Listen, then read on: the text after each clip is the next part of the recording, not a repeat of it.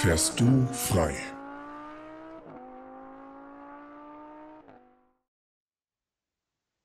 Hallo zum fünften und letzten Teil der Vorbereitung von Annette auf die Theorieprüfung. Sie macht die Zahlenfragen und ihr seid live dabei.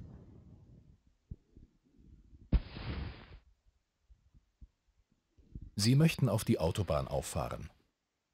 Welcher Fahrlinie müssen Sie folgen?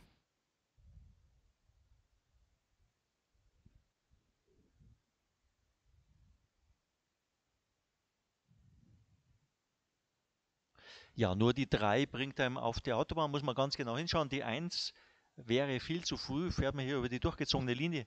Die 2 bringt einem hier in die gesperrte Straße rein. Also das hat sie gut gemacht. Welcher Mindestabstand muss vor einem Fußgängerüberweg beim Halten oder Parken eingehalten werden?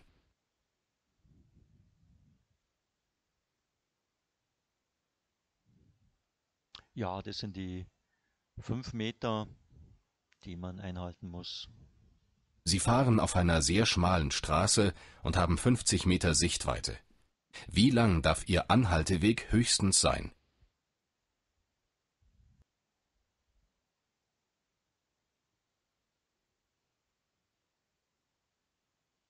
Ja, die sehr schmale Straße, das ist hier das Entscheidende. Es haben keine zwei, zwei Fahrzeuge nebeneinander Platz. Und dann, wenn ein Fahrzeug entgegenkommt, dann muss jedes Fahrzeug innerhalb der halben Sichtweite, also 50 durch 2 sind 25 Meter, äh, stehen bleiben können. Das hat sie gut gemacht.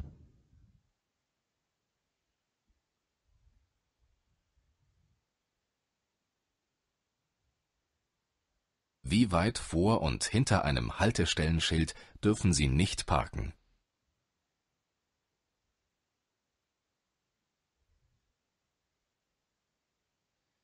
Oh, das hat sie jetzt irgendwie durcheinander gebracht. Es geht hier um die Bushaltestelle und das sind 15 Meter bei der Bushaltestelle.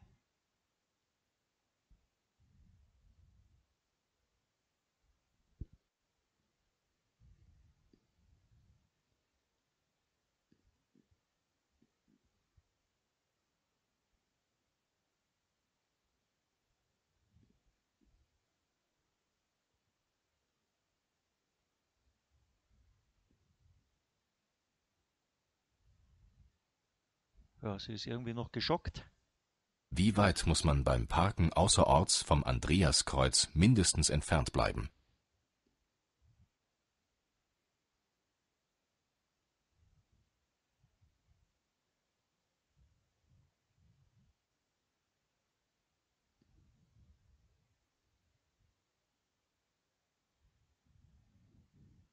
Ja.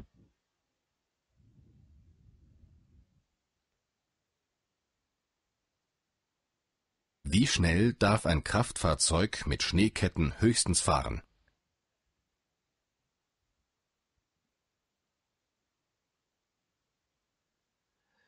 Ja, das weiß sie. Sie fahren 100 Kilometer pro Stunde und haben eine Sekunde Reaktionszeit. Wie lang ist der Reaktionsweg nach der Faustformel?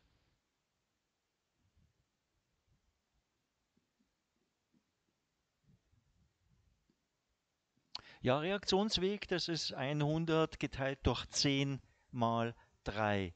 Da habt ihr den Reaktionsweg. Und bei dem Parken nochmal diese 50 Meter außerhalb geschlossener Ortschaften und im Ort sind es 5 Meter davor. Hat euch das Video gefallen? Gebt mir einen Daumen nach oben, lasst gerne ein Abo da und bis zum nächsten Mal.